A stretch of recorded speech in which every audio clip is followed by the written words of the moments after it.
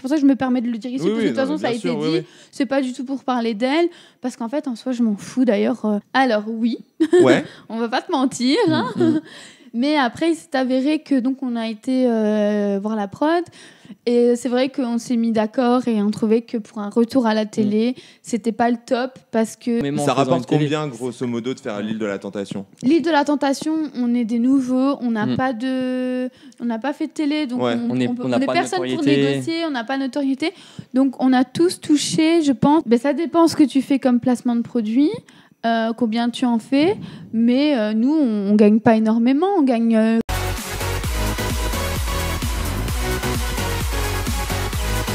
Hello les langues de VIP. Alors, avec moi, Molly et Enzo. Hello. Alors, comment ça se passe après le tournage? Parce que voilà, vous repartez pas, vous étiez pas ensemble encore, vous étiez pas couple et tout ça. Donc, comment est-ce que ça s'est passé? Comment est-ce que ça s'est passé aussi avec Kevin? Parce que vous viviez ensemble. Tu, il a repris ses affaires. Bah, Raconte-nous un peu l'après. Ben, là, après, euh, moi, j'ai quand même gardé contact avec Kevin, je dirais, pendant quelques temps. Euh, ça a été dur pour lui, ça a été brutal, donc euh, ça, je peux comprendre. Ouais. Donc, il est venu rechercher ses affaires en plusieurs fois. On a eu plusieurs discussions. D'ailleurs, on est allé manger. J'ai eu des soucis de voiture. Il m'a aidé. Il n'y a pas de souci. Mais Enzo était toujours au courant. D'accord. Après, il m'a. vous étiez pas encore ensemble. Si, Si, si, si, si. Si. Mais il a on s'est accepté- en fait euh, le week-end d'après, juste Il a après accepté- le tournage. Ah ouais, d'accord. ok. Il Voilà. a accepté parce que voilà, déjà c'est le début, donc bon, ça bien, mais allez, on sait pas si ça va Ouais. accrocher, machin. Et puis il y a aussi le côté où c'est trois ans, tu peux pas euh, lui dire que ok, t'inquiète, je lui parle plus, je vais lui mentir, puisqu'il Ouais, doit non, venir oui, chercher ses clair. affaires. Et après, s'il vient à le savoir un jour, bah Oui, puis une relation qui commence sur un mensonge, c'est jamais bon, quoi. exactement. Donc, Donc j'ai préféré tout lui dire. Je me suis dit bon, il va me quitter, je crois. tu sais, on euh, est bon, parti manger. euh, et au final, il a, bon, il a, il a pris un coup, mais, mais il a compris. Voilà. Après, euh, j'ai vraiment été honnête, surtout sur les messages et tout. Euh, parce que j'avais pas envie que, je sais pas, peut-être Kevin par méchanceté euh, essaye balance, de. quoi, ouais. Même si je pense pas, j'ai vraiment préféré, euh, voilà. Et après, donc quand il m'a dit maintenant, je pense que c'est bon. hein, Ça y est, Vous tu l'as avez- assez ouais. vu, là, il a récupéré ses affaires, Voilà. pas déconner non plus. Et là, hein. j'ai vraiment coupé les ponts et donc ça fait ça fait un petit temps et, et je pense que bah vu que ça, vu que ça s'est passé on va dire un mois et demi après la sortie ou deux, bah Kevin ça y est, je pense qu'il il est passé à autre chose, j'ai plus jamais eu de nouvelles et, euh, et voilà, il a accepté, il refait sa vie, je pense. Ouais. Et toi, Enzo, du coup, alors, est-ce que c'était compliqué à vivre le fait que, bah voilà, elle revoyait Kevin et tout ça? Comment ça se passe, toi, dans ta tête? Est-ce qu'à un moment, tu te dis, bah, elle peut replonger, quoi, au final? Qu'en plus, vous n'êtes pas proches géographiquement. Non, c'est clair. Après, euh, je comprenais la situation. Voilà, après trois ans, ils habitaient ensemble. Il y avait forcément des affaires à aller rechercher, quelques comptes à rendre dehors de l'émission. Ça, je pouvais comprendre. Voilà, il n'y avait aucun souci. Mais euh, on, parle, on parle toujours que je la force pas. Aujourd'hui, si euh, elle n'avait pas envie de continuer avec moi, je ne vais pas forcer une personne qu'elle continue avec moi. Ouais. Voilà. Donc, c'est son choix. Elle a pris sa décision. Et voilà. Il n'y a pas forcément qu'avec Kevin qui- où il y a eu des problèmes. Pendant la diffusion entre filles, c'est parti euh, en cacahuète, on va pas se mentir. Alors, à un moment, c'était contre Marie, après, c'était contre Malika. Qu'est-ce qui s'est passé, en fait? C'est quoi toutes ces histoires? En fait, c'est pas grand chose. c'est juste que euh, j'aime pas qu'on me fasse des coups dans le dos. Ok. Euh, parce que moi je ne fais pas de coups dans le dos. Et euh, Marie, je franchement, je l'aimais vraiment bien. D'ailleurs, c'était marrant parce qu'une fois, on a regardé une diffusion, je dis ouais, Marie, quand même, elle me manque. Il m'a dit ah non, Molly, t'arrêtes maintenant. Il dit, il dit Molly, t'arrêtes, euh, t'as vu quand même ce qu'elle a fait et tout, non. et euh, après, il me parle pas en mal d'elle, mais juste Molly, arrête quoi, euh, ça sert à rien. Euh, Dis-lui bonjour si tu veux, vite, voilà, mais c'est tout, plus aussi proche qu'avant. Et en Parce fait, que vous étiez partis ensemble aussi à un moment en ouais, en euh, vacances. et euh, ça avant la diffusion. Ouais, Mm. et en fait, ce qui s'est passé, c'est que euh, elle avait cru entendre que euh, euh, y avait eu des images par rapport au tournage, qu'elle avait des images d'elle, des images de moi, etc. Des choses qui pourraient, qui pourraient pas être diffusées, des Ouais. choses fausses. Hein, Mhm.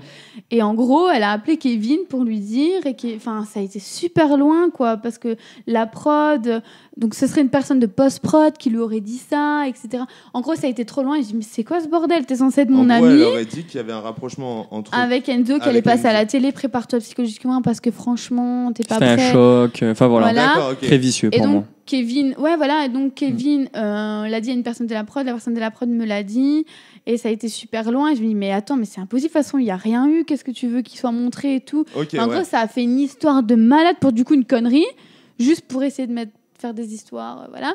Ou peut-être de se mettre Kevin dans la poche, j'en sais rien. En gros, moi, je l'ai pris comme un coup dans le dos. J'ai dit, pourquoi tu me fais ça? Bon, après, ici, on, a- on s'est expliqué. Elle m'a dit, voilà, moi, je pensais, il me faisait de la peine parce qu'il m'écrivait tout le temps. J'ai pensé bien faire. Voilà.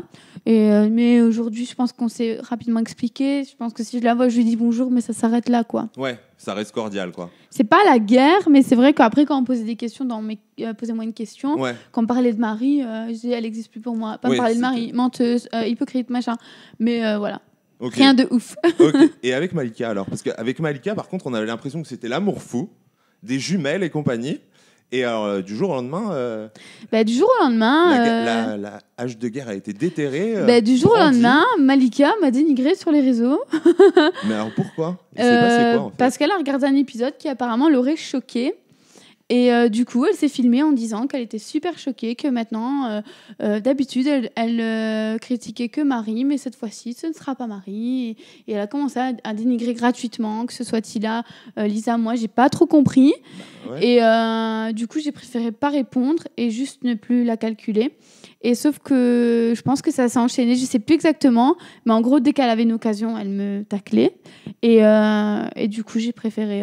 Oui, parce qu'il y a quand même une, un Insta live là qui est quand même parti. euh, Ouais, ben en fait, j'étais en plein direct pour un concours. Euh, donc j'ai annoncé la gagnante et puis c'est parti en question-réponse et tout ça. On me demandait avec Malika et moi, euh, sans citer son nom, je disais oh, je parlerai pas de cette personne, moi je parle pas des faux culs machin. Puis elle est venue directement sur mon live parce que je pense qu'elle regardait mon live avec un autre compte. Tu peux ouais. pas arriver comme ça. Oui, comme de par hasard. Oui, euh, voilà. Soi-disant, on l'aurait prévenu, mais je ne pense pas. Et du coup, elle s'est mise un peu dans mon live. Donc moi, je lui ai répondu. Et après, j'ai j'ai en- j'ai enlevé mon live. Je l'ai bloqué. Je suis retournée sur mon live. Et euh, c'est fin de l'histoire. Je pense qu'elle a fait un live pour se défendre, mais j'ai plus relevé en fait. ouais, J'ai- arrêté. Et euh, voilà, moi, je.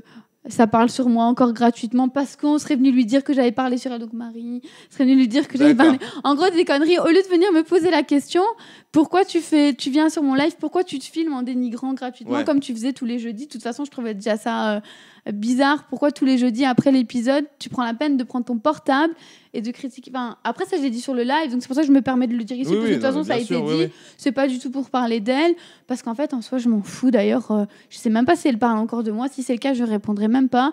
J'avais même pas envie de parler d'elle aujourd'hui, mais bon, puisque je sais que c'est une question qui revient 800 fois. Oui, comme ça, moins la question est posée. Elle est- et- elle est et Elle est close. close maintenant. Moi, je suis pas en guerre avec elle, je parle pas d'elle, je sais pas si elle parle de moi, et si elle parle de moi, en tout cas, je répondrai plus. Ok. Et alors maintenant, si vous deviez euh, repartir en tournage, est-ce qu'il y a des tournages qui vous intéressent plus que d'autres? Est-ce que par exemple, vous pourriez partir l'un sans l'autre déjà? Non. Non. Non? Non. Ensemble donc? Oui. Est-ce que vous avez peur Bah parce qu'on va pas se mentir, la, la télé-réalité ça détruit beaucoup de couples. Est-ce que vous avez peur pour votre couple en participant à un programme? Non. Non. Au, au contraire, je pense que ça peut le consolider. Parce que si, si ça reste une aventure peut-être un petit peu tendue, avec des, euh, des facteurs extérieurs qui pourraient nuire à notre couple, bah c'est là on, on va vraiment voir si euh, on est bon. Quoi. Voilà, hein. si Ouais. on est soudés, et ça c'est important pour nous. Quoi. Et est-ce que pour vous, vous avez un peu des couples modèles dans la télé-réalité? Oui. Alors, c'est toi, ouais. Euh, Camilla et Noré, Ouais. et Nabila et Thomas. Ah, vraiment des couples qui durent quoi. Ouais, ouais. On va pas se mentir, là, il y a un gros tournage qui se passe en ce moment, c'est les Marseillais vs le reste du monde. Ouais. On sait qu'il y a Mélanie et Anissa qui ont été sur le tournage. Ouais. Est-ce que vous, on vous a proposé ce tournage? Alors, oui, Ouais. on va pas te mentir. hein. Mm, Mais après, il s'est avéré que donc on a été euh, voir la prod et c'est vrai qu'on s'est mis d'accord et on trouvait que pour un retour à la télé, c'était pas le top parce que il y a des éliminations, peut-être qu'on se tomberait pas dessus au même moment. Ouais. Euh, on, on Il faut créer des liens un peu déjà avec En les fait- gens avant le tournage, quoi. Mais voilà, et pour que notre histoire existe à la télé, il fallait rester quand même plus de deux semaines sur le tournage. Et ça, c'était pas sûr, puisqu'il y a des éliminations, Ouais. des habitués, des gens qui se connaissent. Et donc, tout simplement, on s'est dit, on- il n'y a pas de problème. On l'a pas pas, mal le bon pris. moment, quoi. Mm, Voilà, mm, on l'a pas mal pris parce que nous, on veut un beau retour, quand Ouais. on veut que les gens aient. Et euh, ben, en fait, la suite euh, de l'histoire.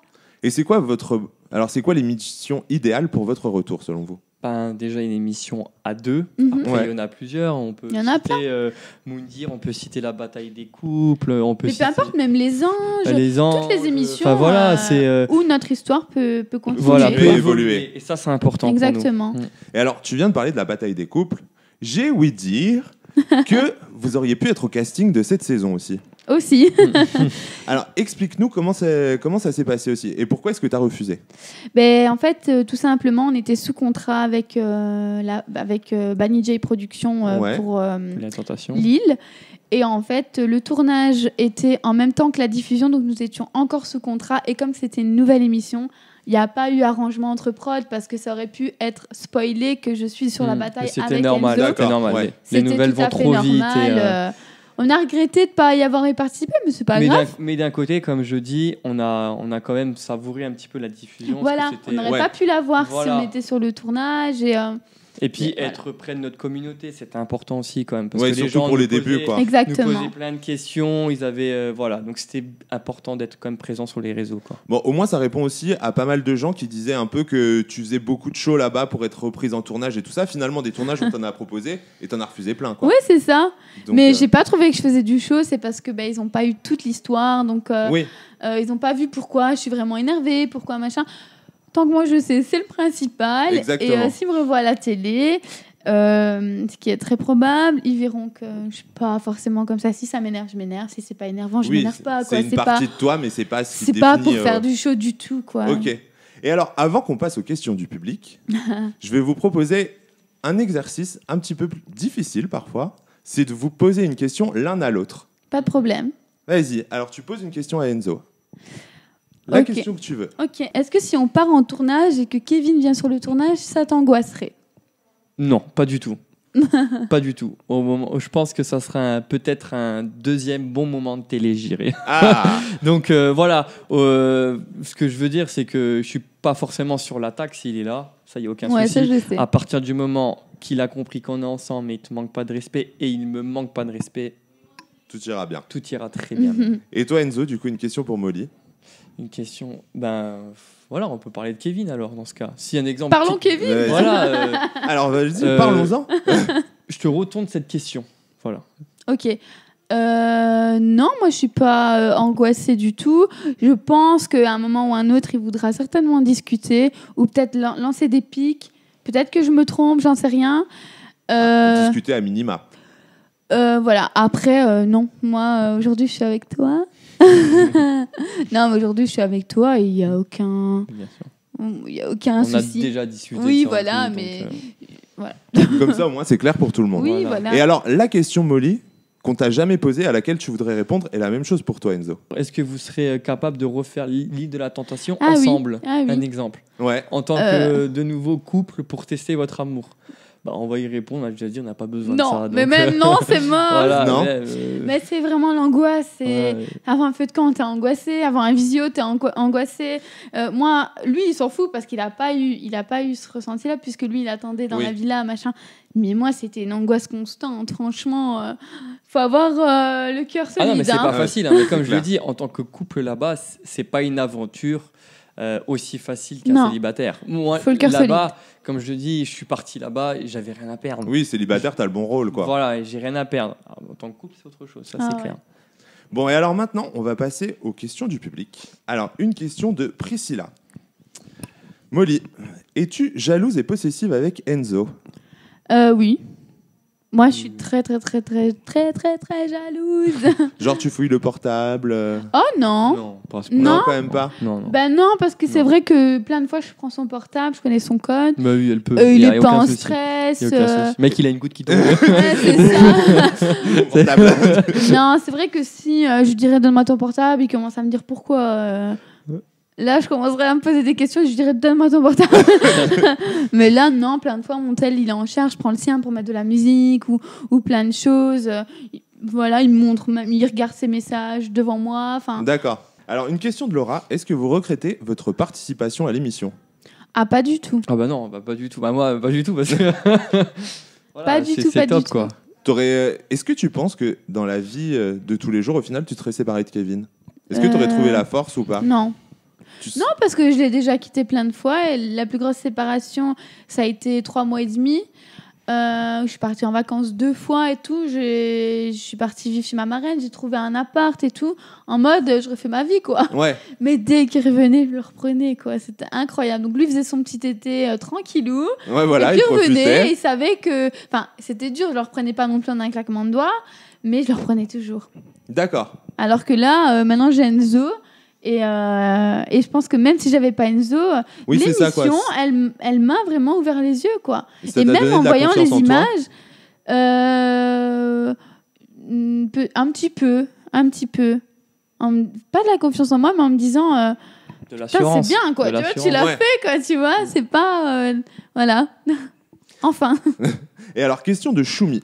Quels sont vos métiers? De quoi vous vivez-vous aujourd'hui, Molly, puisque tu as arrêté la coiffure?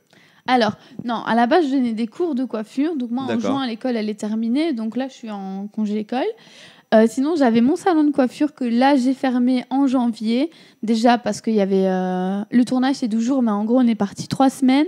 Puis D'accord. après, ok. donc, euh, c'est énorme. Euh, ensuite, j'avais l'école à côté. Euh, Et puis, quand tu as fini le tournage, après, tu viens souvent sur Paris, tu jamais là. t'as- Ouais. C'était juste pas possible. Donc, au départ, c'était provisoire. Puis après, je trouvais que je m'en sortais très bien sans le salon. Donc, j'ai continué. En fait, euh, je suis toujours indépendante. hein. D'accord, ok. j'ai ouais. continué euh, à- chez mes habitués, où elles viennent chez moi. Et, euh, et là, l'école, ben, c'est en stand-by puisque c'est les Oui, vacances les scolaires. vacances. Donc, Mais voilà, je ne suis pas pauvre et je ne vis pas de placement de produits, sachez-le. Voilà, ça c'est dit aussi parce que quand même, ça rapporte finalement que- les, que- les placements de produits. Oui, mais il faut, Ça peut faut- arrondir les fins de mois. il faut et- pas penser Ah, que c'est- euh, même une grosse tête, il faut pas penser que euh, on, on est riche quand on fait une télé, quoi. On est loin Oui, il y a d'être des personnes riche. qui pensent qu'on gagne énormément. en Ça rapporte une télé. combien, grosso modo, de faire l'île de la tentation? L'île de la tentation, on est des nouveaux, on n'a Mm. pas de, on n'a pas fait de télé, donc Ouais. on, On est- on peut- on n'a on est pas de personne pour négocier, on n'a pas de notoriété, donc on a tous touché, je pense, entre 1000 et 3000 euros. Voilà. Ça dépendait. Mm. Voilà. Ok. Ça, ça dépend. euh, euh, ça dépend de ton train de vie, ce que tu gagnes. Tu peux pas. Par Oui, exemple, faut que moi, ça compense ton salaire voilà, quand moi, même. je ne pouvais pas me permettre d'arriver et d'avoir euh, 1000 euros alors Ouais. qu'en trois semaines, je ne gagne pas ça. Donc, Oui, euh, c'est ça quoi. c'est pas possible. Et euh, donc C'est voilà. plutôt un défraiement au final. Voilà. Ça compense le salaire que tu perds de, de venir sur le Après, tournage. un autre tournage, un plus long tournage, tu gagnes plus, machin, ça te permet de faire des achats que tu n'aurais pas pu faire en temps normal, etc. Ouais. Mais on n'est pas riche, hein. Pas du tout. Et toi, Enzo, du coup, ça t'a rapporté combien alors finalement de faire l'île C'est payé combien d'être célibataire? Euh, franchement, pas beaucoup. C'est vrai. Encore Voilà, moins après- de 1000 Comme elle a dit. c'est- Après, ça dépend. Il y a peut-être certains célibataires qui ont été payés un petit peu plus, peut-être parce qu'ils ont négocié, tout ça.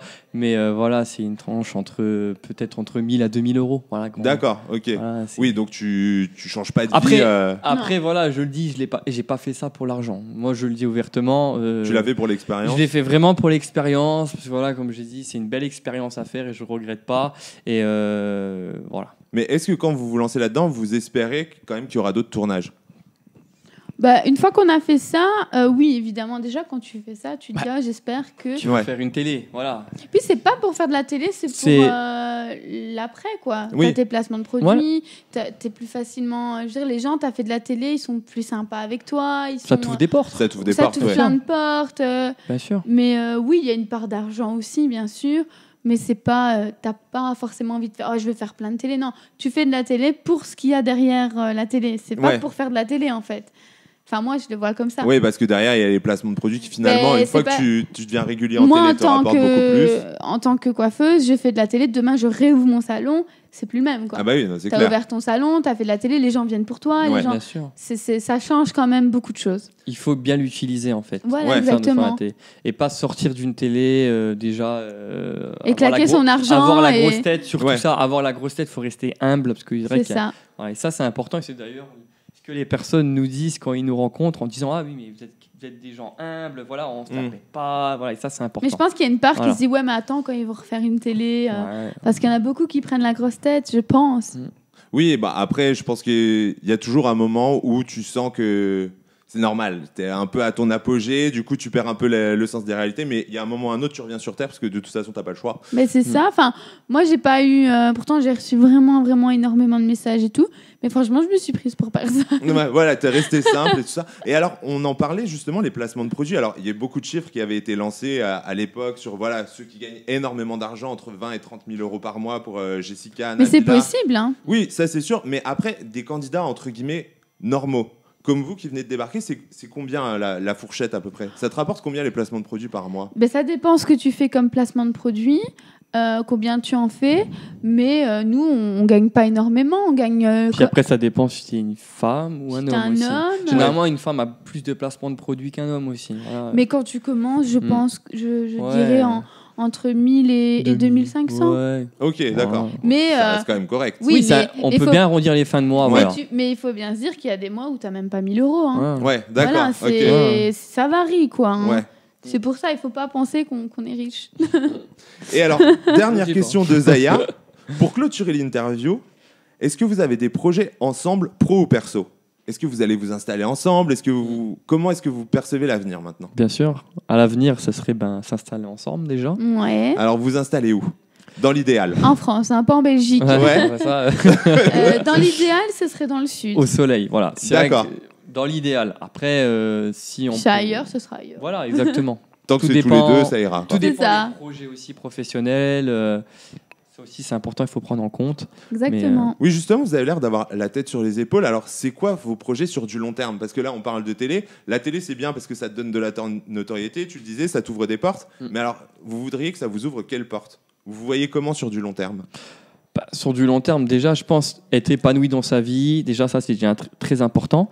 Et euh, pourquoi pas déjà peut-être acheter euh, ben, un bien en commun déjà. Profiter de la vie. On aimerait bien voyager parce qu'on a des voyages en commun qu'on aimerait bien faire ensemble. Ça, et puis euh, pour ma part, mais je pense que ce sera ensemble, euh, moi je voudrais réouvrir un- mon salon de coiffure Ouais. euh, en plus grand, en mieux, essayer d'y être le maximum possible. En fait, investir mon argent intelligemment, il est quand même comme moi. Donc euh, voilà, avoir des, des, des, des projets euh, intelligents. Ouais, c'est ça, quoi. Bien sûr, et pas Euh, claquer l'argent. euh, exactement. oui, parce que c'est un peu l'argent facile des, placements de si- produits, tout ça. Mais si derrière, t'en fais si rien, il y la a télé mo- un jour, s'arrête, ça s'arrête, exactement, et que tu n'as pas investi euh, intelligemment ton argent, bah, tu te retrouves sans rien et tu repars à zéro. Donc euh, moi, c'est pas trop ce que je veux. Et comme euh, Voire plus bas. hein. oui, Ouais, encore pire, Oui, endetté. c'est ça. Et comme euh, moi, je suis passionnée de ça, euh, voilà. Et puis euh, et puis voilà. Après, on n'y est pas du tout, mais dans l'avenir, moi, j'aimerais réouvrir mon salon. Ça, c'est Ok. sûr. Bon, bah voilà, les langues de VIP, je pense qu'on a fait le tour. hein. On a parlé de Lille, de l'après-Lille, du futur. On a évoqué Kevin, on a évoqué les filles, on a évoqué tous vos projets. Donc maintenant, moi, ce qu'il me reste à faire, c'est vous embrasser, vous dire à très vite et rendez-vous sur jefflanguedevip.com. Ciao, ciao Salut.